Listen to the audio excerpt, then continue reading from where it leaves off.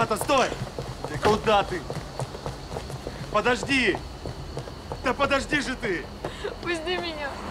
Пусти Да меня! подожди ты! Отпусти меня, мне больно! Да никуда я тебя не пущу. Объясни, что случилось. Я пришла к тебе домой, я волновалась, я думала, с тобой что-то случилось, а ты, ты, ты со своей этой, ты...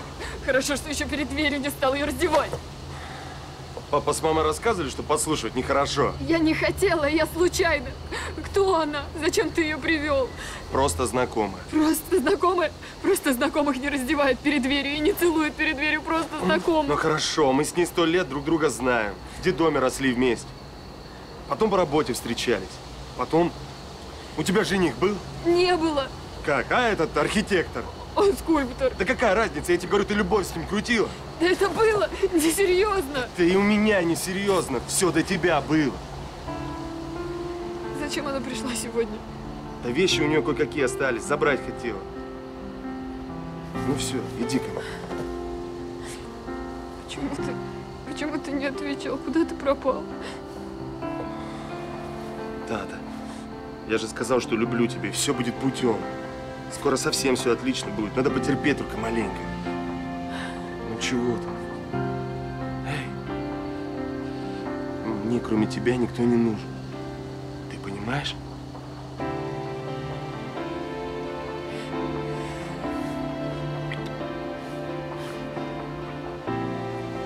Обещай, что больше никогда не будешь сомневаться во мне.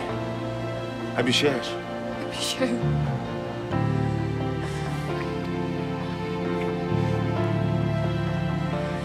Пойдем, провожу тебя.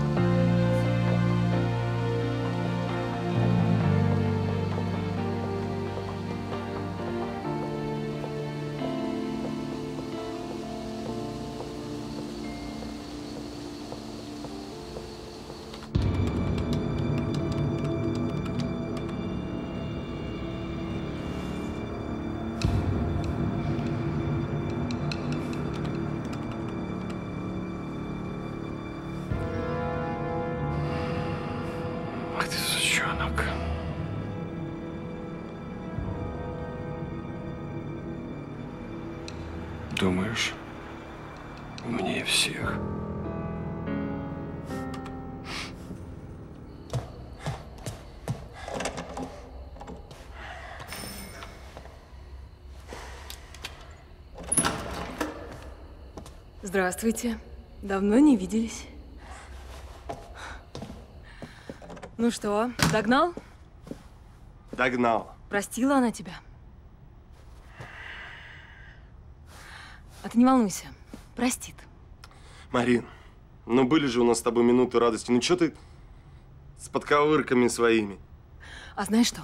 Я не собачка, чтобы твое имущество сторожить. Убежал неизвестно куда, дверь нараспашку, а теперь вернулся и здрасте. И чтоб никаких вопросов. Я, между прочим, спать хочу. Вещи-то собрала свои? Собрала. Давай отвезу. Да иди ты. Сама доберусь. Марин, Что еще? ну не обижайся ты. Не держи зла. Я ж не виноват, что так все вышло. Знаешь что, Стряпочка, а ты еще вернешься ко мне. Вот увидишь, так и будет.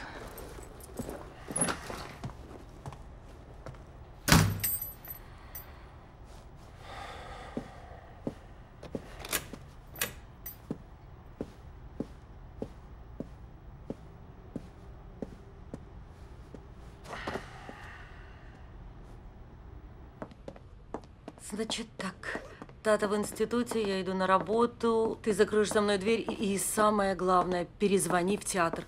Они еще в начале прошлого месяца должны были позвонить, две недели прошло. Анечка, я тебе уже объяснял. Если звонят они, значит, они хотят, чтобы я у них поставил спектакль.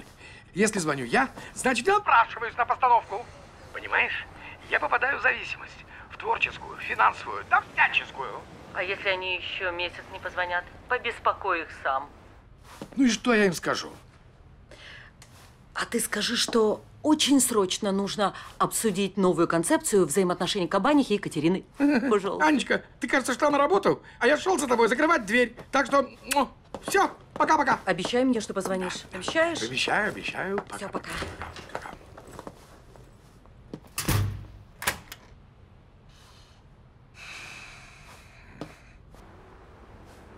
Стряп, мне вот интересно.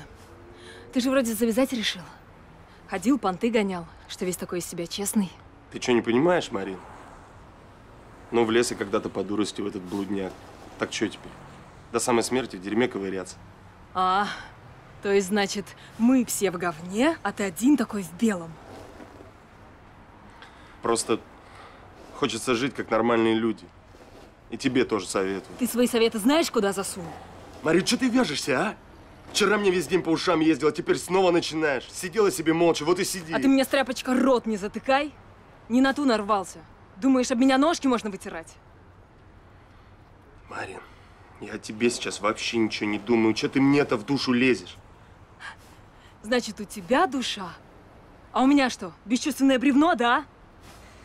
Ты уже так мою душу истоптал, что там места не осталось живого. Я же попросил у тебя прощения. Чего ты еще хочешь-то? Чтоб я на колени перед тобой встал? Не дождешься. Отольются тебе еще мои слезки.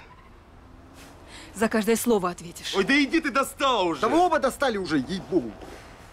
Уши от вашего базара вянут. Так, а ну посмотри, это не она? Работаем.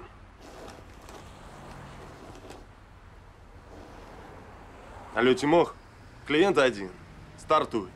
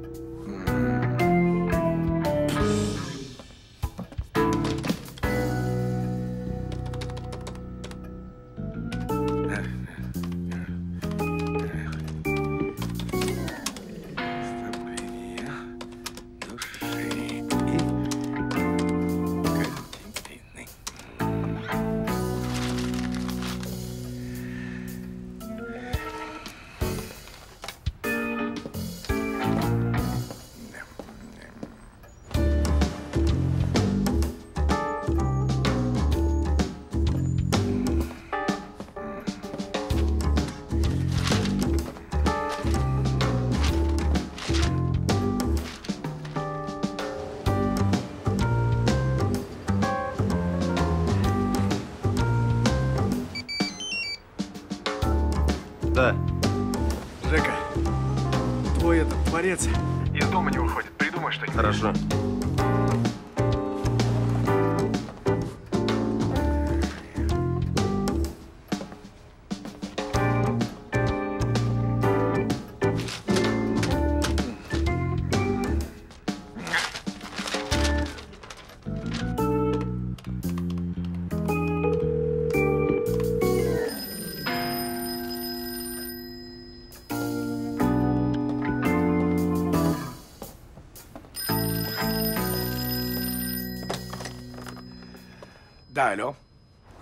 Добрый день. Это господин Корнеев? Да, это господин Корнеев. С кем имею честь? Э, Меня зовут Станислав Юрьевич. Станислав Юрьевич. Лютин. Я импресарио. Я давно слежу за вашим творчеством и хочу сказать, что в мире есть всего один режиссер, с которым я очень хочу поработать. Это вы. То есть, э, я так понимаю, вы хотите предложить мне э, по- постановку? Да, мы планируем гастроли в Париж и Лондон. Хотим пригласить самых известных актеров. А, э, простите, что со сроками? А, дело в том, что я человек занятой. Меня столичные театры разрывают на куски.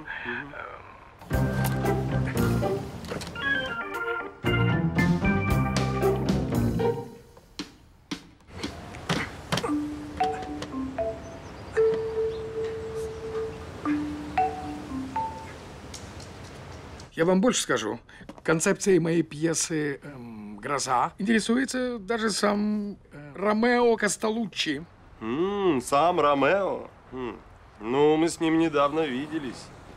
Перетерли там. Ну, переговоры провели в... В, э, В Риме. в Риме. Он очень хорошо о вас отзывался, хвалил вас. Так он что, знает обо мне? Ну, в смысле, да, конечно, он знает, как тщательно я прорабатываю характер героев. Все готово. Да, характеры дело непростое, иногда такие попадаются, что прибить хочется.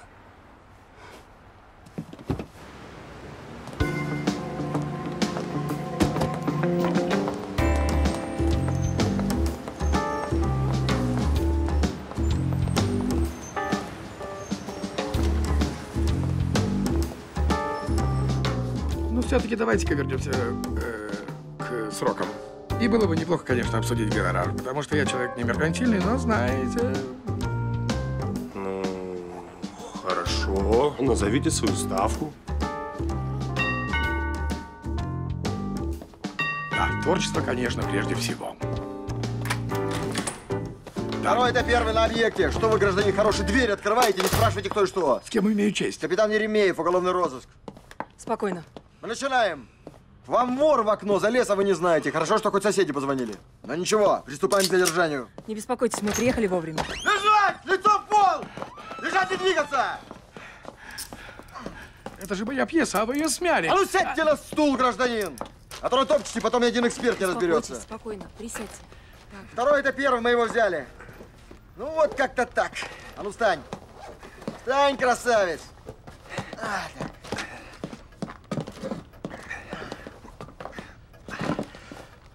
Узнаете его?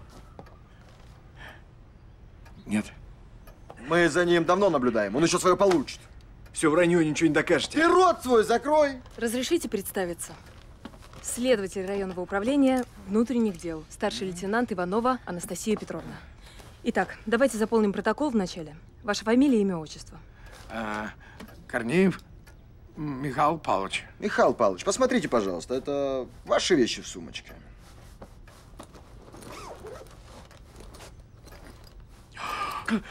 Конечно, мои. Не трогайте вещдок, пожалуйста. Сейчас в вашем присутствии мы составим опись украденных вещей и заполним протокол допроса. Фамилия, имя, отчество. Какая фамилия? Какие украденные вещи? Кто-то видел, как я их воровал? Я так понимаю, Трофимов, ты чистосердечно признаваться не думаешь, да? Да я вообще ни о чем не думаю, начальник. Хай академики в академиях думают, им за это бабки платят. Опять рассчитываешь на адвоката? Думаешь, срок скостят?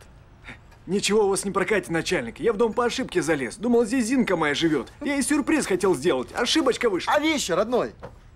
О чем речь? Значит, сумочка, ты хочешь сказать, сама с вещами собралась? Вещи не мои, сумка тоже. Впервые вижу. Не прокатит у тебя это дело. Прокатит, родной, мы тебя с поличным взяли, понял? Анастасия Петровна, давайте-ка мы этого кадра в отделение заберем, по полной программе с ним поработаем. А давайте. Так, Михаил Павлович, подпишите, пожалуйста, здесь и здесь. Только прочтите внимательно. Так ли все было? А украденные вещи будут на время изъяты для проведения экспертизы и дальнейших следственных мероприятий. Э, как экспертизы? Какой? А что это, надолго? Нет. Завтра вечером зайдете ко мне в отдел. Вот, возьмите визиточку. Думаю, часов в шесть все уже будет на месте. А, а давайте я сейчас с вами поеду. А, ну что вы. Экспертиза это дело не быстрое, пока мы все отфотографируем, пока пальчики снимем. Зато у нас будет хорошая доказательная база, и этот рецидивист уже не сможет отвертеться.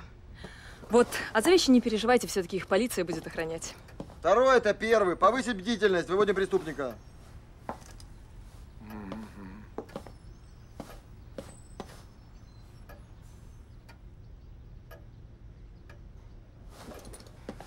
Но я все-таки волнуюсь. Я понимаю, что вещи материальной ценности никакой не имеют, но все-таки... Михаил Павлович. Они мне дороги как память. Если вы так сильно переживаете, вы можете позвонить в районное отделение и уточнить процедуру. Уверена, у вас есть номер. Да-да, папаша, звони пробей, может, они вообще не мусора.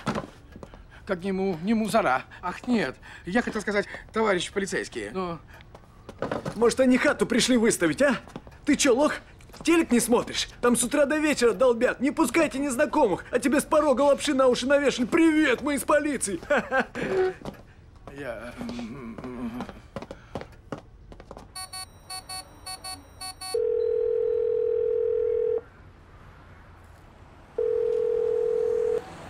Дежурный РУВД, капитан Горелик слушает.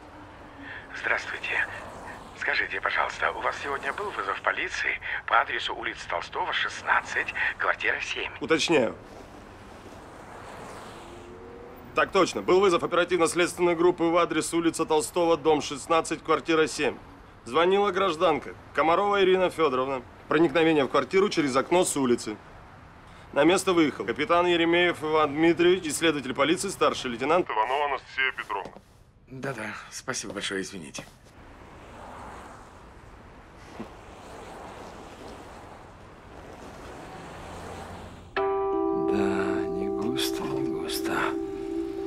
Ну а как вообще прошло? Все чисто прошло, но долго. Почему долго? Да Тимоха такой драмтеатр развел. Отказ пошел, стал себя урку матерого изображать. Я в машине сидел, весь их базар слышал, оборжался.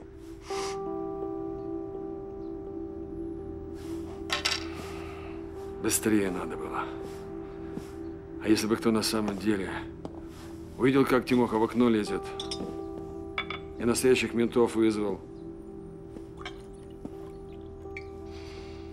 Ну, нормально же сработали.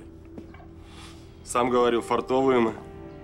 Послушай, пацанчик, ум фарту не помеха. Самое что ни на есть помощь. Усек?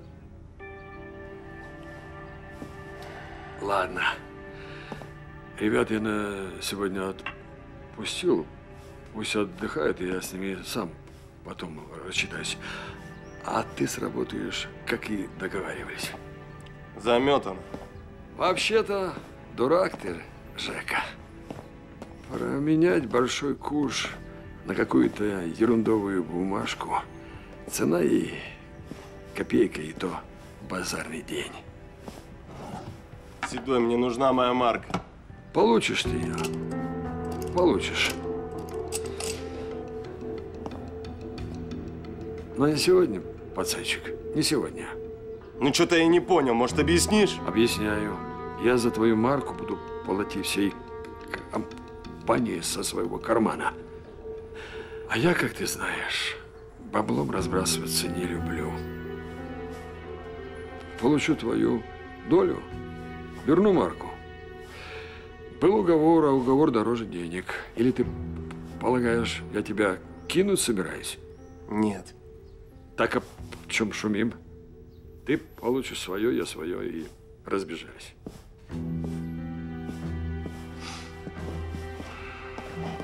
Когда идем на дело? Ох, не про просто все, Жака, не просто. Тут серьезно все думать надо, чтоб, как говорится, ни сучка, ни задоринки. Так что поспешать будем медленно. Там хоть и выгодное дельце, но вот шибко рисковое.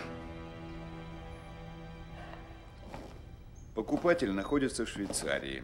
И вы, как в прошлый раз, через дипломатический коридор, смогли бы мне помочь. Почта хоть и не вскрывается, но риск очень велик.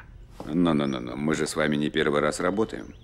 Ваш гонорар компенсирует риски. Ваш номер счета не изменился? Окей, счет тот же, но я скоро отбиваю из страны, так что постарайтесь передать мне товар заблаговременно. Goodbye. Всего доброго. Ну что, Войцах, все слышал? Все козыри у нас на руках. Богатый клиент, надежный коридор, не расклад, песня. Но товара все нет. Инок, давно хотел у тебя спросить, зачем тебе эти дохлые насекомые? Ну, во-первых, это красиво. А во-вторых, эти, как ты их назвал, дохлые насекомые, неплохое вложение средств. А в-третьих? Прекрасные контейнеры для камней. Как говорит наш зарубежный друг, диппочту тоже могут вскрыть. Поэтому там должно быть нечто, отвлекающее внимание. Например, прекрасные создания с бархатными крылышками. Ну, Инок, ты голова. Войцех, не отходи от темы. Когда ждать товар? Якут уже на месте. Но он осторожничает. За раз выносить большую партию. У него там все схвачено. Менты местные, прикормленные. Ну, мало ли. Короче. Когда? Якут нанял людей, они выносят бриллианты мелкими партиями. Послушай, не спрашиваю, как они это делают. Меня интересует, когда будет товар, за который я заплатил. Ну, ты же понимаешь, чтобы телега катилась быстрее, нужно смазать колеса. Хорошо. За скорость накину сверху. 30 процентов. Не борзей. 15. Ладно. Не нервничай. По рукам.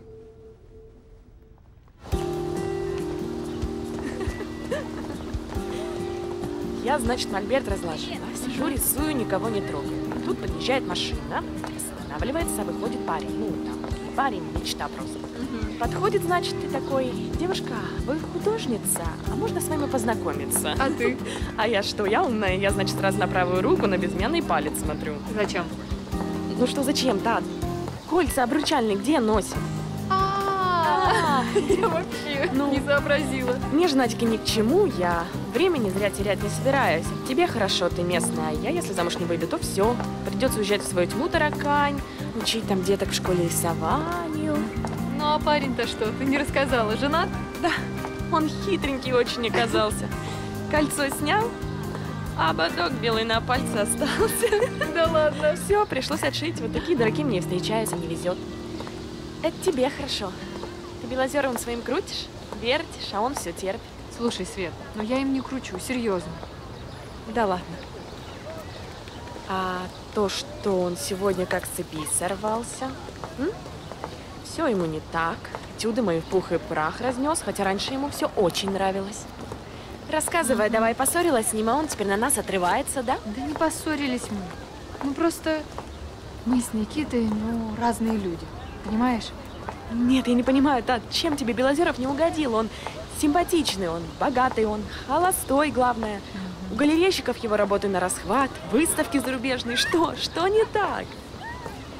Или он жениться на тебе не хочет? Да нет, он-то как раз хочет. Я не хочу. Ну не люблю я его. Я пыталась полюбить, не получается. Значит, говоришь, Никита Святославович теперь свободен. Как ветер. Пробросаешься, Наташка. Вон, к нему очередь уже из девчонок выстроилась. Я первая буду, потому что я на него глаз положила еще с экзаменов. Куда ты смотришь? Да ты чего? Ты что, на него Белозерова променяла, что ли? Светка, если тебе Белозеров нравится, дарю. А я побежала. Беги, беги, попутного ветра. Ау, Корнеева, полиция нравов!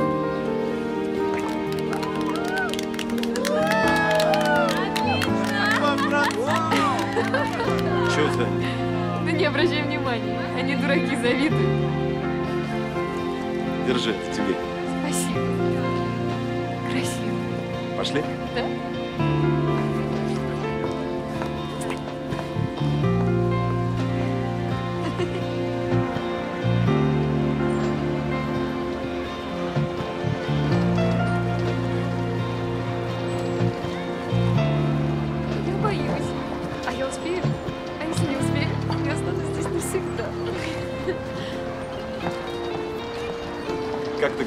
Классно придумала. Да? Я же один раз здесь был. И то, когда в интернате учился. А меня сюда родители приводили в детстве. Ну и я вообще люблю всякие там качели, карусели. Жека, встань сюда, пожалуйста, я тебя нарисую. Ну не. Ну давай, ну ты так красиво двигаешься. Ну ладно. правда, плавно, гибко, мягко. Давай потом нарисую. Нет, сейчас, сейчас. Потом. Жек, мне так легко с тобой. Даже не знаю, как я раньше без тебя жила. А я без тебя. Но только сначала ты мне показался таким нахалом. Э, вот это «давай познакомимся». Э, Мне кажется, мы вчера оба этого хотели. Так а что, разве не так было? Вот ты мне сразу понравилась, даже в своей японской маске.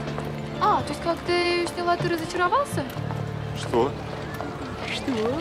А ты что такое говоришь-то?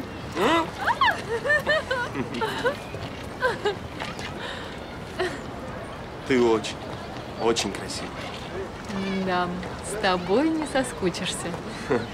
Это я тебе обещаю. Кстати, я же тебе самое главное не рассказала.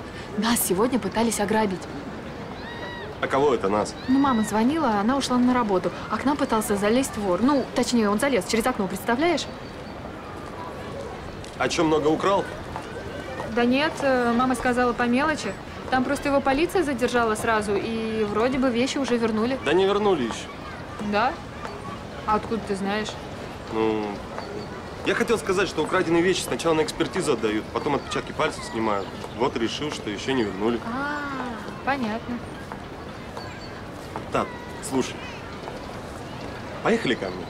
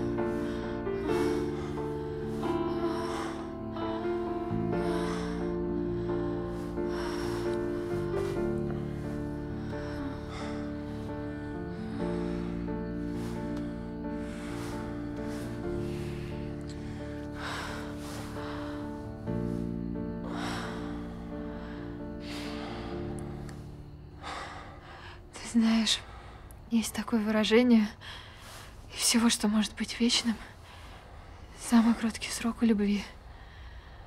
То есть любовь быстро умирает. А теперь я поняла, тот, кто это написал, наверное, не любил никогда. Поэтому он так написал. Наверное, не любил.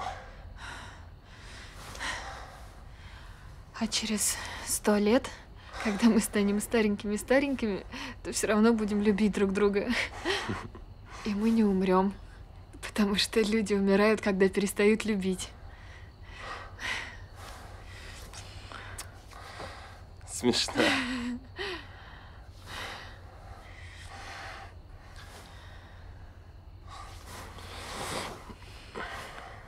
Тат, у меня скоро много работы будет. И может так случиться, что долго не увидимся. Я скучать буду. Оставайся у меня сегодня. На ночь? Угу. Жекочка, я не могу.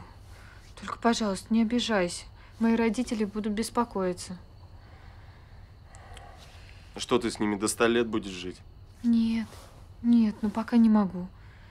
Ну давай еще на часик останусь, а потом домой пойду. Хорошо?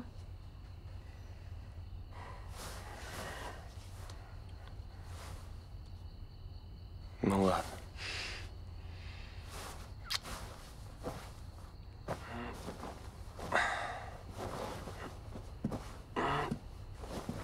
А ты куда? Сейчас вернусь.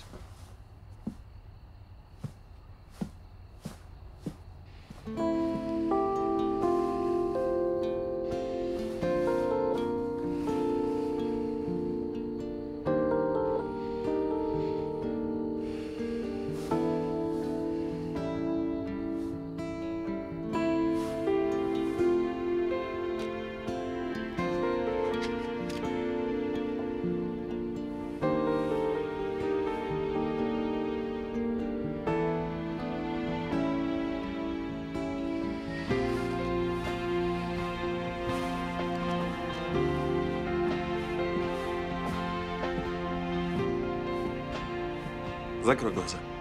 Зачем? Ну закрой, говорю, у меня для тебя сюрприз. Не подглядывай. Конечно, не подглядываю. Интересно же. А можно хоть одним глазком? Открывай.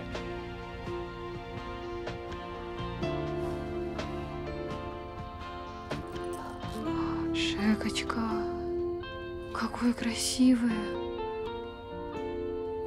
Давай примерим.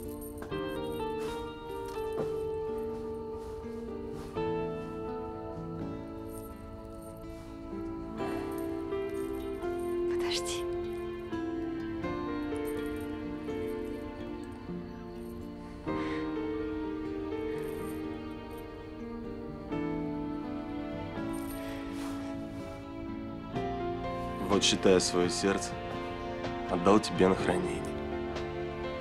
Я его буду хранить всегда. Всегда, всегда, всегда.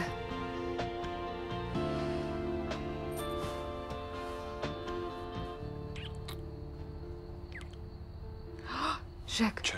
а помнишь, ты мне показывал фокус с картами? Ну, помню. Что? А можешь еще раз показать? Че, прям сейчас, да, что ли? да, да, прямо сейчас. Хорошо. Какую карту достать? А твою любимую семерку пик? А может, другую? Нет, семерку. Откуда достать? Сверху, снизу, середины? Из середины.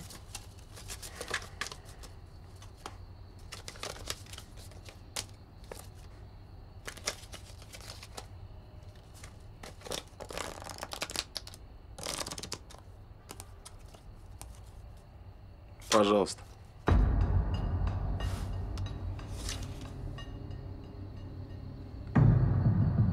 Странно.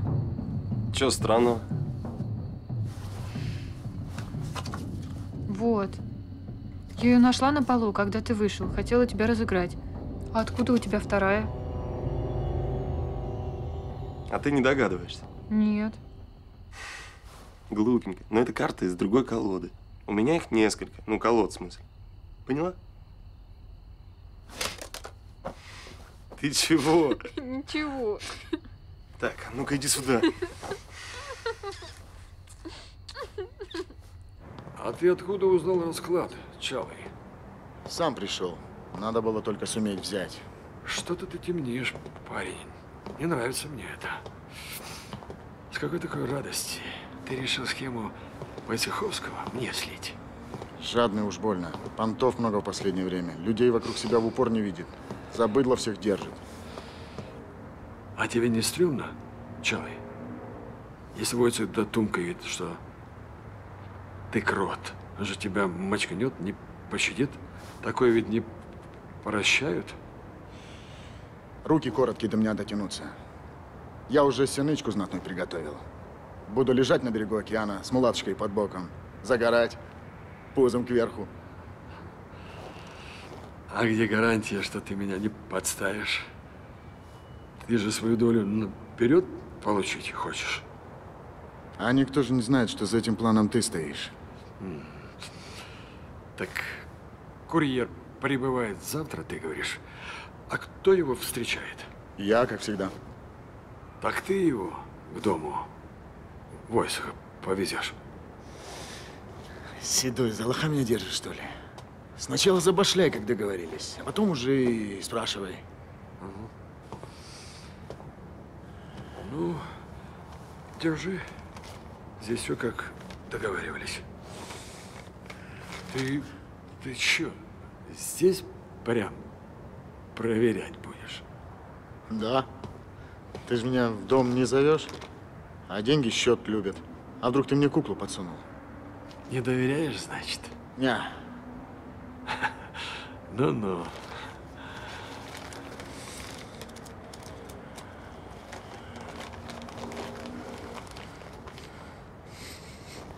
Теперь и спрашивай. Алло, да, мам? Да, я уже около дома. Да нет, телефон недавно включила.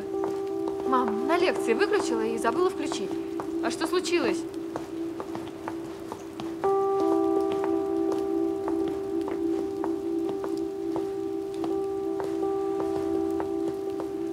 Да, хорошо, мам.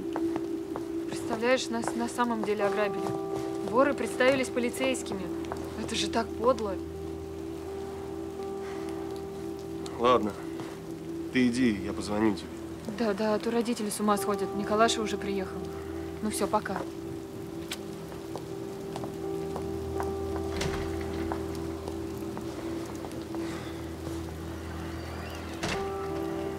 Михаил Павлович, но почему вы решили, что вас обманули?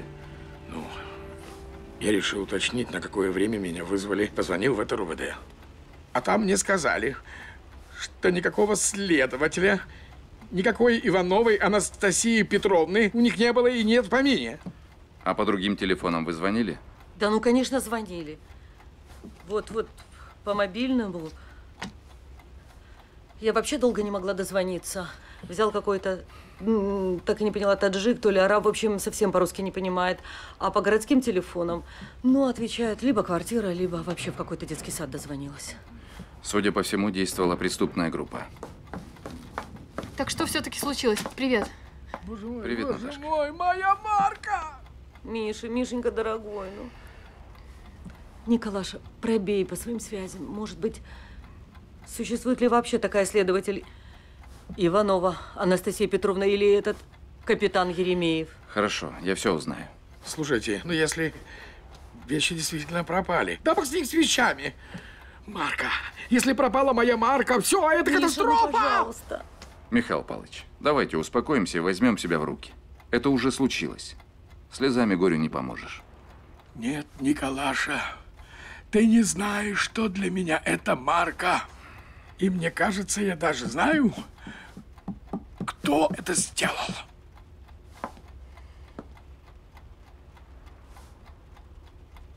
Кто, Михаил Павлович?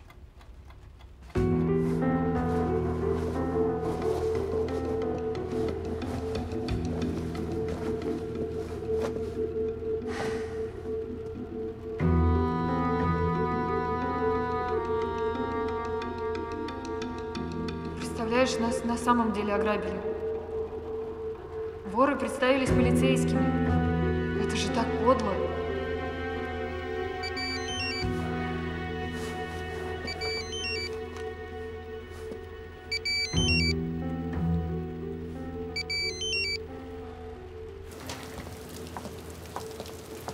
Скажи, а почему Михаил Павлович обвиняет твоего нового друга?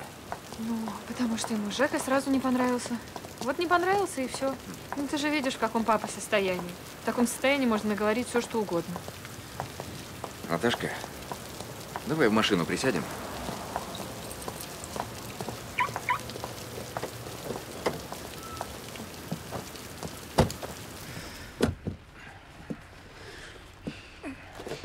Значит, твоему папе он не понравился? Ну да. Скажи, а ты сама не могла этого допустить? Чего? Того, что это он мог стащить Марку. Николаш, ну каким образом? Ну каким образом? Ну сам подумай. Даже если папу действительно обворовали, обокрали, то Жеки среди этих людей не было. Да он бы сразу его узнал. А его там просто не было, не было, понимаешь?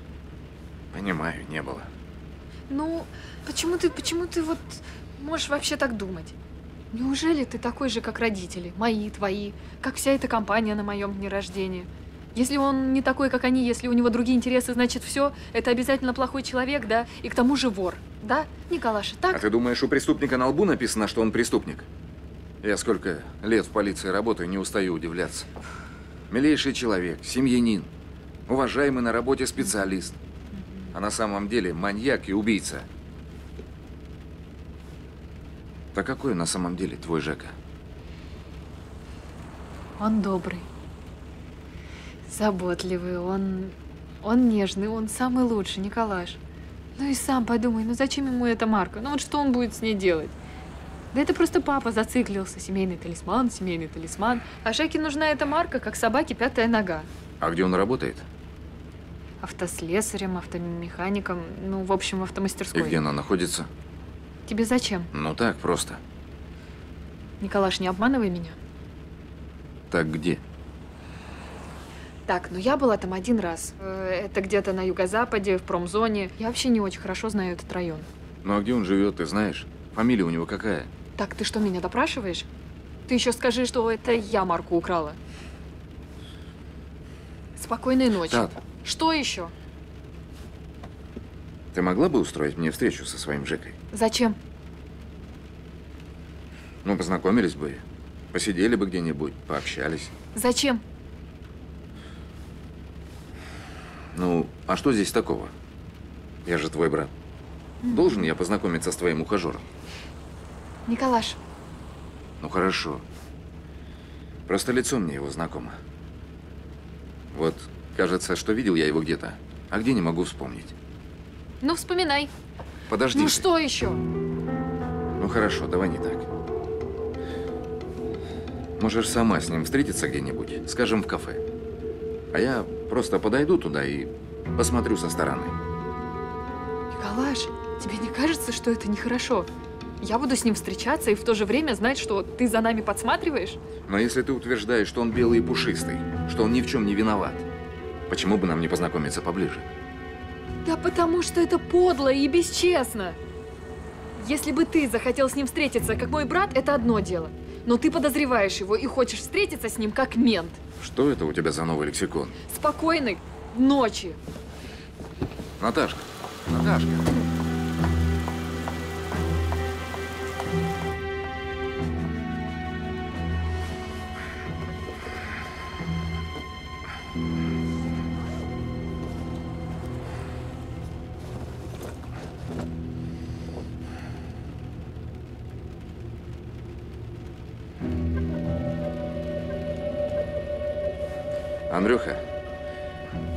Нарыл что-нибудь новое?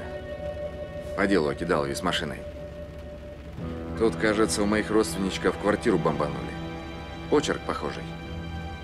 Пробей ко мне двух человечков.